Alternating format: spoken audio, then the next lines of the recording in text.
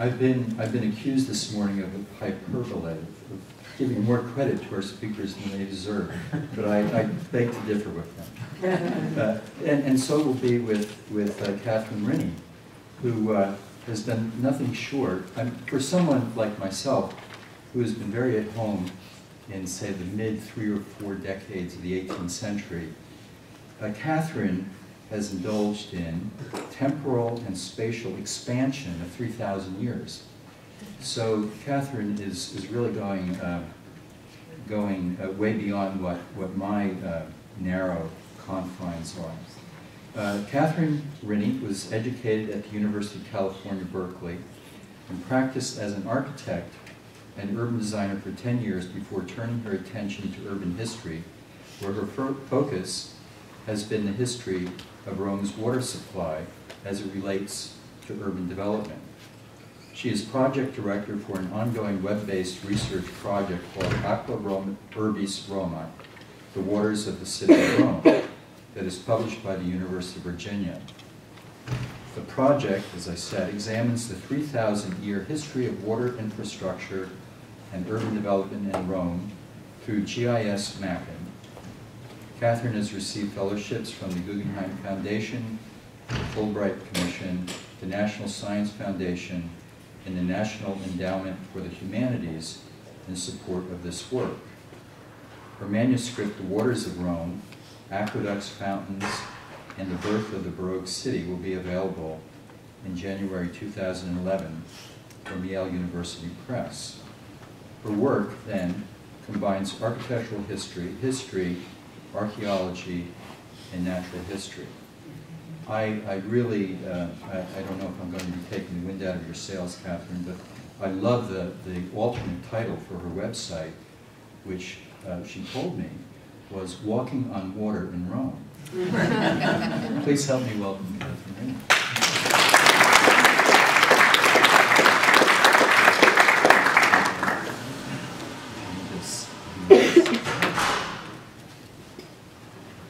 Thank you.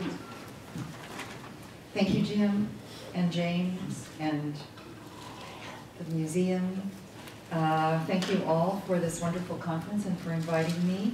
Um, I would also like to especially thank um, Vincent Buonanno, who is the, um, his role is the Chief Visual Procurement Officer, as he described his role to me. And I would especially like to thank him because uh, almost all of the images you'll see in my presentation come from his collection, which he generously allowed me to work with. So I'm going to be talking about a different aspect of this um, task of describing the 18th century city, the mid-18th century city of Rome. So my, the work that I'll be talking about um, complements the work of Bernardini, Vasi, uh, Piranesi, and Nolli, but in a very different way, uh, in that I'll be talking about the Tiber River. I'm one of those people with really bad eyesight. Um, is that why you were holding your paper like this? Yes. Yeah, okay. Bummer. Um, oh wait, is this a light? No. Is that a light? Never mind, I got it. It's a light. Okay, can you hear me? No. No. No. Oh, Just, just push it down maybe really Bring it closer. No, I'm tired. Up, closer. up more. Up? Oh, I'm. Yes. now can you hear me? Better. Better. There. Yeah, you just move it closer. Okay. All right. Um, Put my glasses back on. In 1701, during his trip to Rome, the English essayist Joseph Addison lamented that the Tiber River was impoverished and, quote, destitute of strength. To him, it had lost its status as the river most sacred to heaven and its central symbolic position in Rome's foundation mythology. He was not the first person to grieve for the once proud Tiber. In 1568, Pope Pius V bemoaned the sense of abandonment that gripped all of Rome, but in particular, he singled out the Tiber River. He called it a veritable purgatory. a purgatory that flowed through the heart of the city, both an actual sewer purgatory and a symbol of a city that had fallen from grace. The main, the main trade artery for Rome, the Tiber had been an open drain for centuries, a convenient disposal site for trash, garbage, and the occasional dead body, as Cicero had pointed out centuries earlier. In spite of a growing number of public uh, announcements, editti, that forbid its use as a sewer, conditions at the Tiber were still deplorable in the mid-18th century, where our story begins. How had this happened, and what did it mean for Rome? The quantity of material that fell into or was dumped into the Tiber since antiquity is impossible to estimate. And much of it was too heavy to be pushed by the current into the sea. Private individuals received licenses, uh, uh, received licenses to scavenge for metal and stone at the various river gates, along the river banks, and at the points where the drains and sewers emptied into the river. And I show you here in this very well-known uh, print, what most people don't know is right here is uh, a group of cercatori, people who are licensed to paw through all this effluent that's coming directly from a sewer drain. And their job is to search for, um, for funds.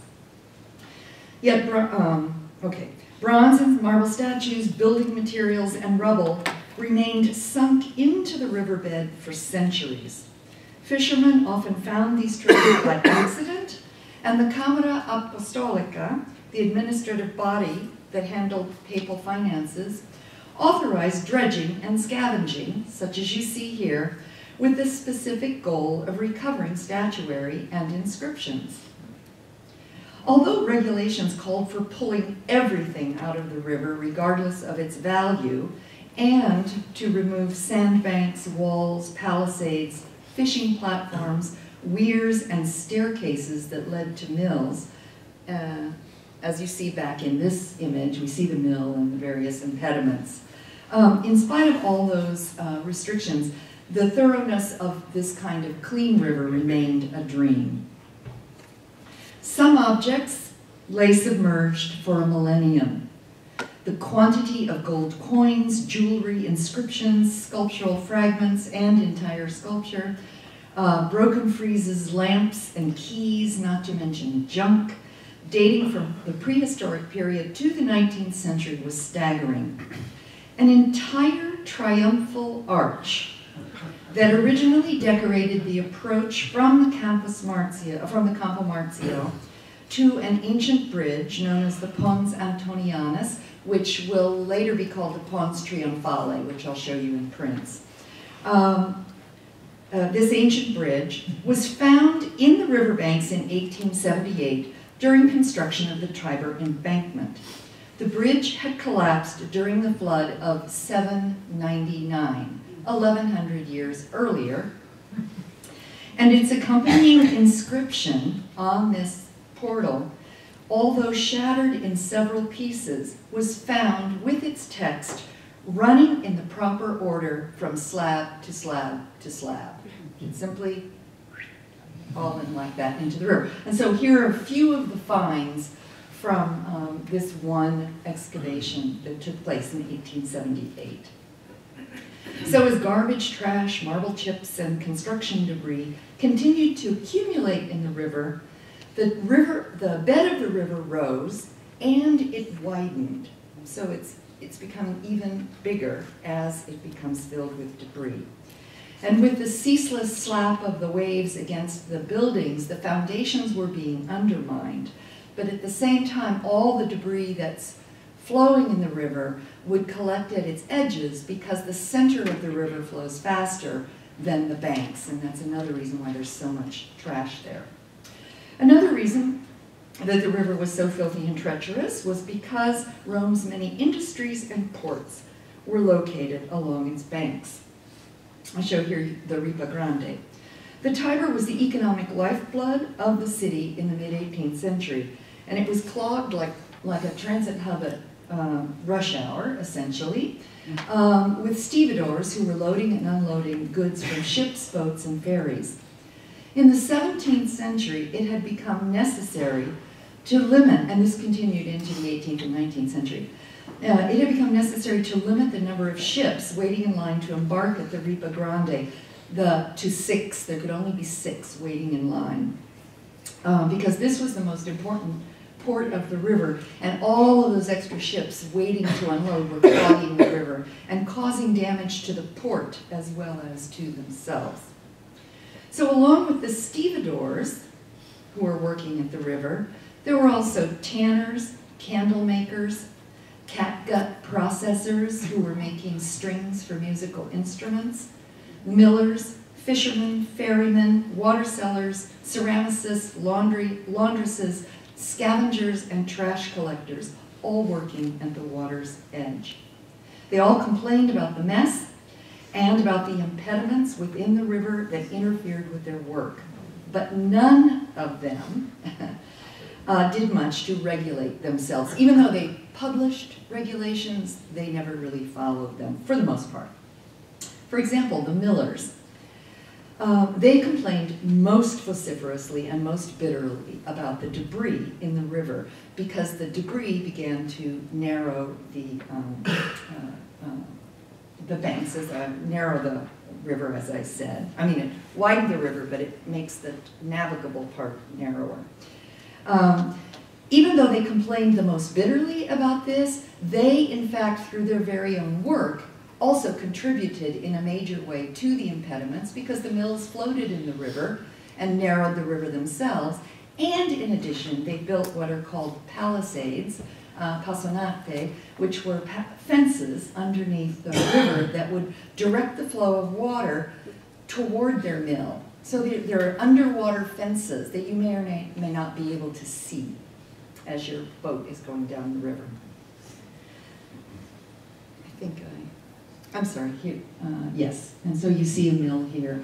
And uh, unfortunately, there's no passonate. I didn't put the slide in. I'm sorry, I apologize. Nonetheless, their work was essential. As we all know, they ground the grain. So they were exceptionally vocal, and their, um, their complaints are registered um, in abundance in the ar archives of the city of Rome. In 1738, the owner of a floating mill known as the Mola di San Giuseppe a Ponte Rotto, and this is Ponte Rotto, the broken bridge, protested about the debris. He, through his argument, demonstrated that illegally dumped garbage in the area of his mill at Ponte Santa Maria, that is the broken bridge, created such an impediment to the river current that was needed to turn the mill wheel that it was impossible for him to grind grain. He pointed out that this not only caused personal financial hardship, but it also hurt the poor people who lived nearby. And he's not specific about how it hurts them. He just says that it does. Another document, this one undated but from the same period, uh, records a petition signed by six millers, all on the river, and one boat owner who protested that more than 500 cartloads of trash a day were thrown into the river. They observed that the debris caused damage to the mills and to the boat landings. Furthermore, the trash filled the riverbed to such an extent that the millers were forced to raise the level of their paddle wheels. This maneuver, which was very costly, meant that less of each of the blades would hit the water. It meant that the wheels would move more slowly, and the mill wheel grinding the grain would move more slowly. So it's a very difficult situation for them to be then be in. And they pointed out that at one, at one point they could they could grind two to three times more grain than they could at this moment in the mid 18th century.